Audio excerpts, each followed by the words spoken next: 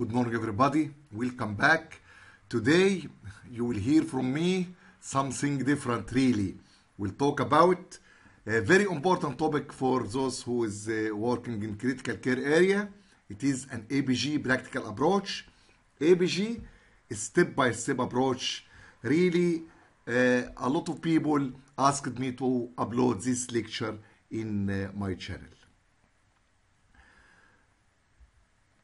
We'll talk today, uh, we'll try to talk very simple and to the point. First of all, you need to know what is the pH. Simply, pH equal constant, constant multiplied by bicarb over PCO2. So, acidosis means low pH. So how can you decrease pH from HH equation? Simply pH equal constant multiplied by bicarb over PCO2. How can you decrease the pH from this formula? First, if you decrease the bicarb, you will decrease the pH. This is metabolic acidosis. Second, if you increase the PCO2, you will decrease the pH. This is respiratory acidosis. We'll try to talk about First and the most important for everyone working in critical care area, acid-base balance, which is metabolic acidosis. Metabolic acidosis is step-by-step approach, practical approach. It is low bicarb and low pH. Second step, when you face an ABG with metabolic acidosis, please go to the anion gap. Anion gap equal sodium minus chloride plus bicarb. If it is more than 12 millimole per liter or according to your lab, if it's high anion gap, look for the causes of high anion gap metabolic acidosis, which is due to production of endogenous acid or exogenous acid coming from outside. The endogenous acid could be beta hydroxybutyric acid and keto acid, uh, acetoacetic acid in diabetic ketoacidosis could be phosphoric and sulfate in advanced renal failure, could be lactic acid in lactic acidosis. These are all endogenous acid or uh, exogenous coming from outside like methylene, uh, methyl alcohol, ethylene glycol, and acetyl salicylic acid. So, adding an acid to the circulation endogenously or exogenously will make high anion gap metabolic acidosis. But before leaving this point, please don't forget to compensate for hypoalbuminemia in high anion gap. So after measuring your anion gap for the patient, do adjusted anion gap, which is equal anion gap plus 4, which is normal albumin, minus patient albumin multiplied by 2.5 to get the real anion gap for the patient. This is the second step. First, metabolic acidosis. Second, go to the anion gap. I need to talk about some, to clarify some point I believe it's important before going to in deep for metabolic acidosis. What is buffer system? What's buffer system? You know about the common buffer system in the body, which is bicarb carbonic acids. What's buffer system? Simply, the buffer system in, the, in our body will convert strong acid, whatever, endogenous, like, like lactic acidosis, diabetic ketoacidosis, or exogenous, like methyl, methyl alcohol or what, etc. The buffer system will convert this strong acid to weak acid. So, the drop of pH will be uh, less because strong acid can make a big change in pH, but uh, weak acid will not do this big change in pH. For example, lactic acid, when enter our body, it is considered hydrogen plus lactate. We react with the bicarb buffer system, will convert to lactate, which is anion, and carbonic acid. Lactic acid, strong acid, carbonic acid a weak acid, and can be exhaled. So, the buffer make no change or no more change, big change in the pH. Acetoacetic acid, strong acid, will react with the bicarb carbonic acid weak acid and acetoacetate is anion. So the buffer system simply will convert strong acid to weak acid so will not cause big change in the pH. What about the concept of anion gap? Anion gap is equal sodium minus chloride plus bicarb. Let us consider this lactic acidosis. Lactic acid increase in our body. What will happen? It will react with the bicarb. The result of this reaction will be lactate, which is an anion, and carbonic acid, which will be converted to CO2 and exhaled. So, adding lactic acid to the circulation will make one lactate anions and will consume one bicarb. What will happen to this formula? Anion gap will increase because there is consumption of bicarb here. So sodium minus chloride plus bicarb will give high value. And lactate which is produced in circulation is not measured in the formula because it is will be will be go to the anion gap will increase because we are not measuring lactate. So it is hidden anion. This is the concept of anion gap. Acetoacetic acid in diabetic ketoacidosis will react with the bicarb. The end result will be carbonic acids exhaled and acetoacetate and anion. What is the effect of this reaction on this formula? One bicarb molecule will be consumed here and one acetoacetic acid anion will be produced but it's not included in this formula so the anion gap will increase. This is the concept of high anion gap. Any acid endogenous due to lactic acidosis diabetic ketoacidosis renal failure or exogenous toxin from outside like ethylene glycol will do the same result will produce when react with the buffer system will produce an anion which is hidden, will not measure, and consume one bicarb, so the anion gap will increase. What is the concept of delta gap? Delta gap, this is the formula of delta gap, equal the patient actual anion gap minus the normal anion gap over 24, 24 which is the normal bicarb minus the patient bicarb. What does it mean? back to this simple formula. Endogenous acid lactic acid will react with the bicarb. The end result will be lactate, one anion, and carbonic acid, which is exhaled. So from this reaction, you will see very clearly for each bicarb consumed will be one anion produced. This is the relation. This is the normal relation of high anion gap metabolic acidosis. One bicarb molecule consumed and one lactate molecule produced. This is the normal. What if we find consumption of bicarb, loss of bicarb, more than gain of anions. If we see lactate is three molecules, but we find here there is five or six molecule of bicarb lost. What will happen? What is the explanation for that? The only explanation for that is there is some there is some disease or some pathology which is consuming and leading to loss of bicarb. What is this? It is normal anion gap metabolic acidosis. So, if you find disproportionate loss of bicarb, more loss of bicarb compared to the gain of anion, that means it is not only high anion gap metabolic acidosis, it is accompanied and mixed with normal anion gap metabolic acidosis. What if the reverse is the situation? What if you find a lot of lactate without a lot of lactate production without loss of bicarb. Say 6 molecule of lactate but only lost three or four molecule of bicarb. What's the explanation?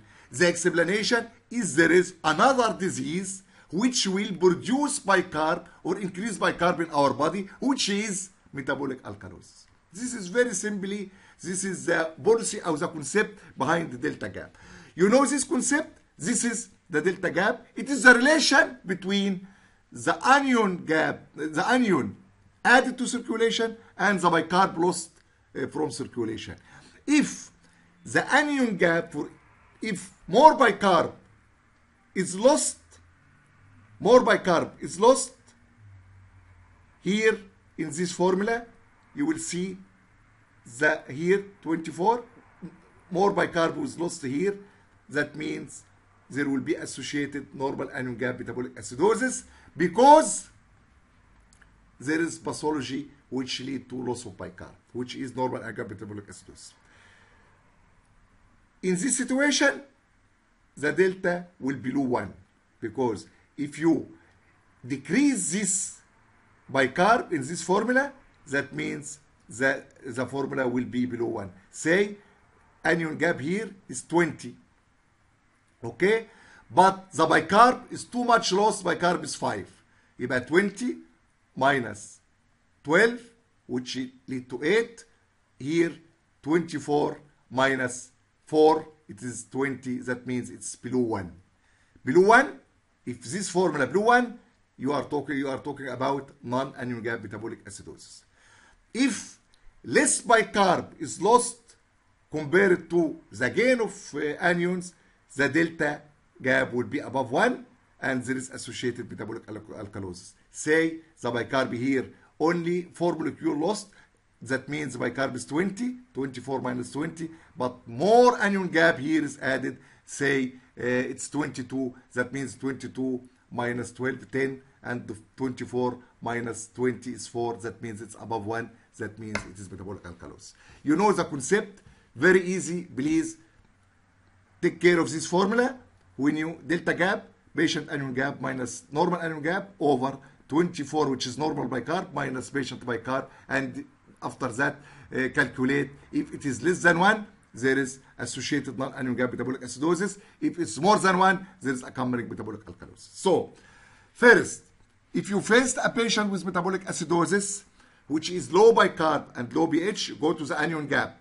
Measure the anion gap and take care, try to do the adjusted anion gap to correct for the albumin and get the actual anion gap. Once you get the actual anion gap, you will go to the delta gap. If high anion gap, look for delta gap, which is patient anion gap minus, as you see. If more than one, there is concomitant metabolic alkalosis. If less than one, there is concomitant normal anion gap metabolic acidosis. Okay, it's very easy because usually you will see a mixed ABG, mixed acid-base uh, imbalance, not uh, a simple one. Step four, if anion gap is normal, is less than 12 millimole per liter or according to your lab normal, it is normal anion gap metabolic acidosis. Anion gap, as you see here, in, in normal anion gap metabolic acidosis, it is not like the high anion gap which is adding acid to circulation. It is very simply loss of bicarb from the body. Normal anion gap metabolic acidosis equal loss of bicarb. And the nature of our body is with loss of bicarb, there will be a compensatory gain of chloride to keep electroneutrality of our body. So this is the nature of our body. For each loss of bicarb will be gain of chloride. So in this formula, here is low, here is high, will compensate, and the anion gap will be normal. Step four, if the anion gap of normal, look for the common causes of normal anion gap metabolic acidosis, which is diarrhea, because loss of bicarb through GI, and renal tubular acidosis, loss of bicarb through the kidney. So, this is the major, major source of loss of bicarb, which is GI, diarrhea, and renal tubules, renal tubular acidosis, and the iatrogenic, which is adding chloride to circulation, so we'll decrease the bicarb because, as you know, our body is always compensated for increase of chloride by decreasing bicarb and vice versa. Okay. In renal tubular acidosis, there is type 1, which is the commonest one. Urine pH always above 5.3. There is always failure of acidification of urine, even if the bicarb decrease below 15 millimole, and we will see now why. And there is nephrocalcinosis in this type. In type 2, urine pH can be can decrease below 5.3 if the bicarb is below 15 millimole, and we'll see how can that occur. And this accompanying glucosuria, amino aciduria, so-called Fanconi, in so-called for Fanconi syndrome. This type 1 and type 2, there is accompanying hypokalemia, but there is type 4, which is hyporeninemia, is associated with renal tube acidosis and hyperkalemia. I need to clarify in simple way what is renal tubular acidosis type 1 or type 2. This is our proximal convoluted tubule. Very simply, there is filtered bicarb here from the glomerular filtration rate will be filtered through the tubular lumen or proximal tubule here. Sodium bicarb. Here there is active sodium hydrogen exchanger, active pump in the proximal tubule. Will take the sodium inside the cell and will get the hydrogen outside here in the, in the tubular lumen. Once hydrogen in the tubular lumen will react with the filtered bicarb, will produce carbonic acid, and here is the carbonic anhydrase type 4, which shifts the reaction towards this direction. So, will consume hydrogen to make a gradient for this active pump to work. What will happen in this situation? Here, here will be sodium will be reabsorbed, hydrogen will be excreted here, and as you see here, carbon uh, carbon dioxide will go inside where bicarb will be produced and reabsorbed. The net effect will be reabsorption of the filtered bicarb because most of bicarb, sodium bicarb, will be reabsorbed in the proximal tubule. In more than 90% of bicarb. If there is renal tubular acidosis type 2, there is defect in this process. So, will be defect in reabsorption of this bicarbonate and will be lost. And because the bicarbonate will be lost, the pH of the urine will increase. Okay? Type. Here, this type 2 renal tubular acidosis, if the bicarb drop below 15, urine pH will start to normalize and will become below 5.3. What's the explanation of that? It's very simple. Because the capacity, this renal tubule has a low capacity to reabsorb bicarb. But if the bicarb level drop below 15 millimole per liter, so the filtered load of bicarb in the proximal tubule will be less, will decrease because the concentration of bicarb decrease. So the glomerular filtration rate of the bicarb will filtrate will decrease of bicarb because the level in the blood decrease. This decrease in the bicarbonate load in the proximal tubule will make this proximal tubule, the, the weak proximal tubule, will be able to reabsorb this small amount and the pH will be normalized. So, the issue here and the trick point here in, in renal tubular acidosis type 2, if the bicarb drop below 15, the pH can be normalized. The pH of the urine can be normalized. But what's the situation for type 1, which is the commonest one? Here is a collecting tubule. In the collecting duct, there is an active pump for secretion of hydrogen and for secretion of hydrogen exchange to potassium. This is an active pump. And here, the carbonic anhydrase will make the reaction, in shift the reaction to this direction to increase the production of hydrogen to enhance the pump for excretion of hydrogen. Here, as you see, it is an active hydrogen excretion. So, if there is defect in this active hydrogen excretion, will be defect in the uh, acidification of urine, and the pH of the urine will be always above uh, 5.3, despite the level of the bicarb. Because here uh, it is active situation, and really this collecting duct is responsible for uh, excretion of the daily acid load, which is approximately 80 millimole, through these two active pump. Okay. How to differentiate between this is very important point. I know it is a lot of formula, but you can review this lecture several times. But it's very important. How can you differentiate between the diarrhea and the renal tubular acidosis? Simply by history. Simply by history. You can ask if this patient has diarrhea or not having diarrhea. Second, by urine pH. Urine pH, if the urine pH is above 5.3, it's going with renal tubular acidosis. But as you know, as we, we hear now, uh, in type uh, 2 renal tubular acidosis, the pH can drop below 5.3. And the patient in uh, laxative abuse cannot mention that he has uh, diarrhea or she has diarrhea. Okay.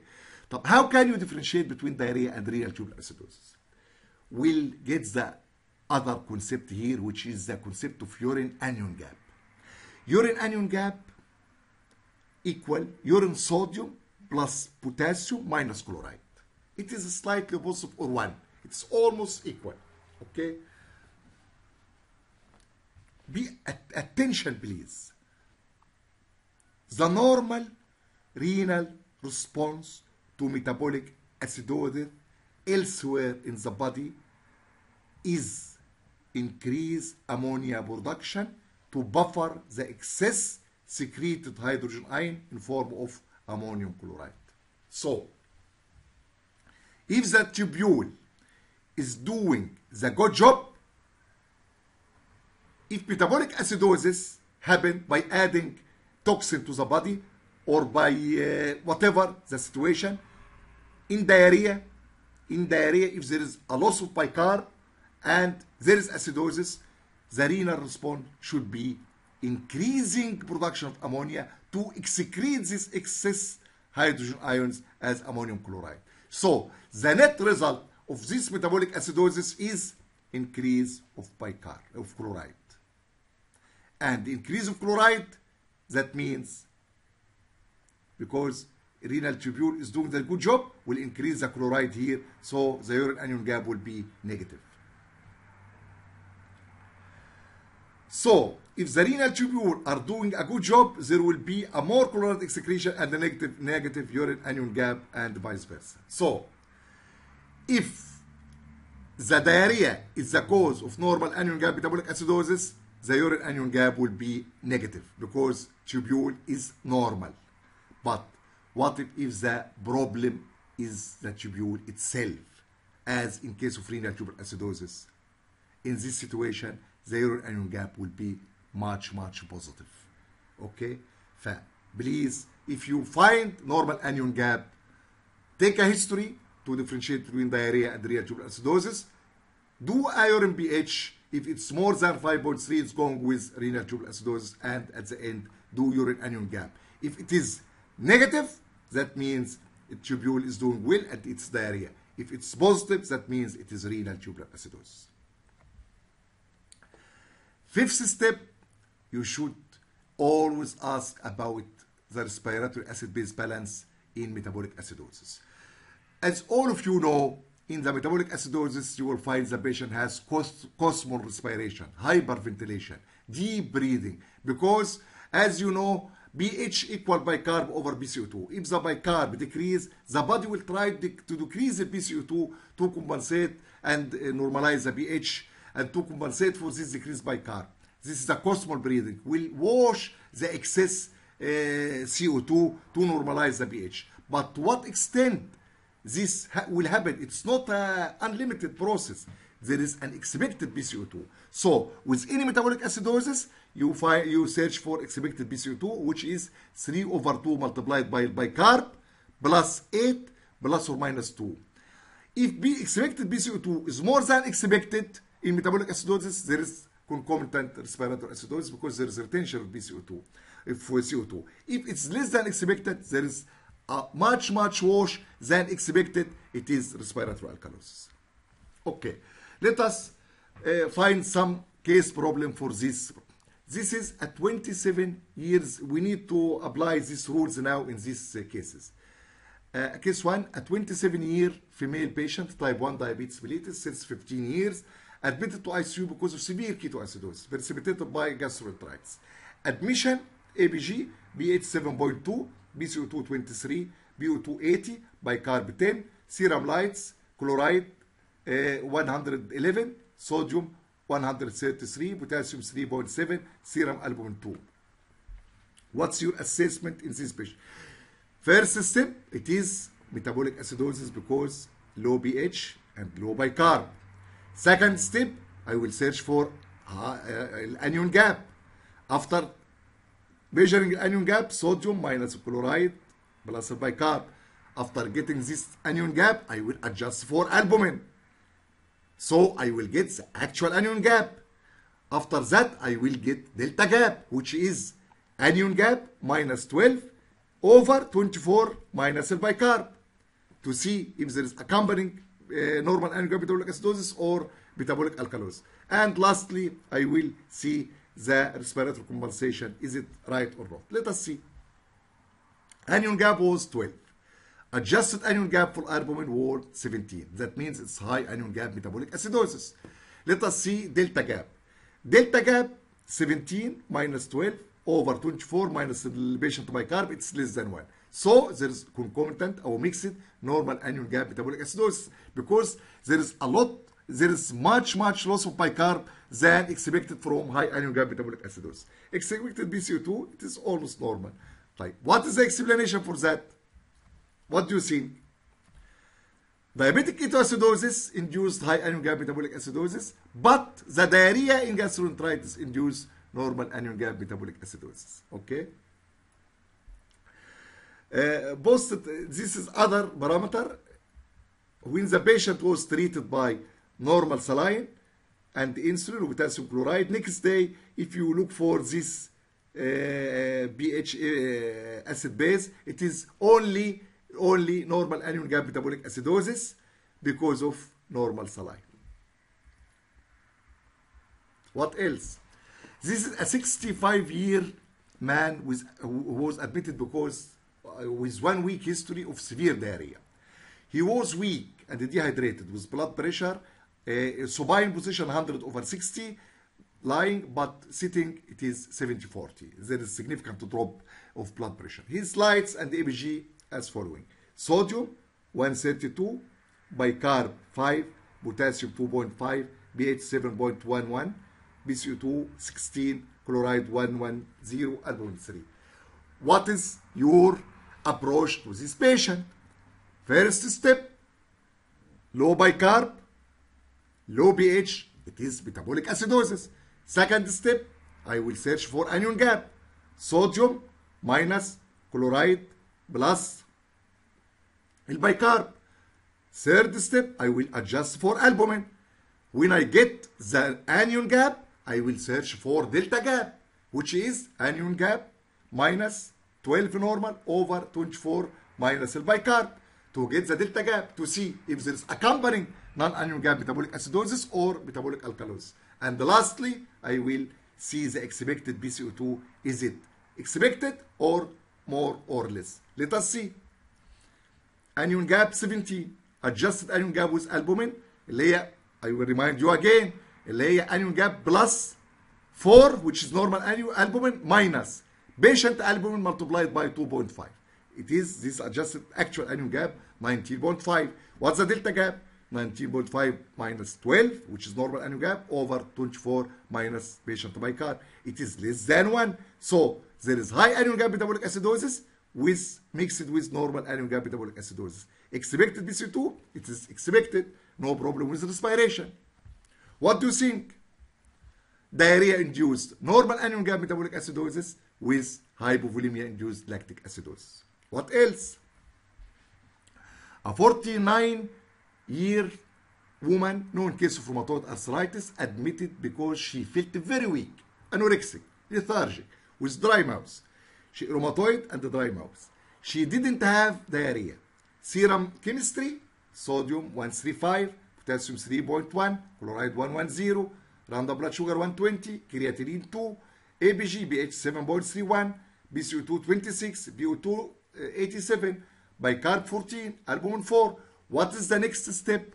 Okay let us step by step. Where is the pH pH acidotic bicarb low it is metabolic acidosis. I will do anion gap. Sodium minus chloride plus bicarb I will adjust the anion gap for the albumin I will do the delta gap to see what's going on. Anion gap 11 adjust anion gap 11 it is normal. So I am I am talking about normal anion gap metabolic acidosis. What are you going to do? No diarrhea. But the patient may neglect but no diarrhea. So I think about renal tubular acidosis so I need to do pH of the urine and I need to do urine anion gap. Urine pH 5.6 going with the renal tubular acidosis. Urine anion gap sodium 29 potassium 33 plus minus chloride which is 29 urine anion gap it is highly positive high positive here minus it's a high positive value denoting failure to secrete sodium chloride which point to renal tubular acidosis. This patient has Sjogren syndrome which is uh, one of the causes of renal tubular acidosis. Okay this is nephrocalcinosis you, you, you consider type 1 in nephrocalcinosis